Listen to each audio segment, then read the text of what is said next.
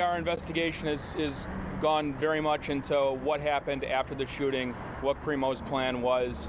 Uh, investigators did develop some information that it appears when he drove to Madison, he was driving around. However, he did see a celebration that was occurring in Madison, uh, and he seriously contemplated using the firearm he had in his vehicle to commit another shooting In um, Madison? in Madison. Did you know how much ammunition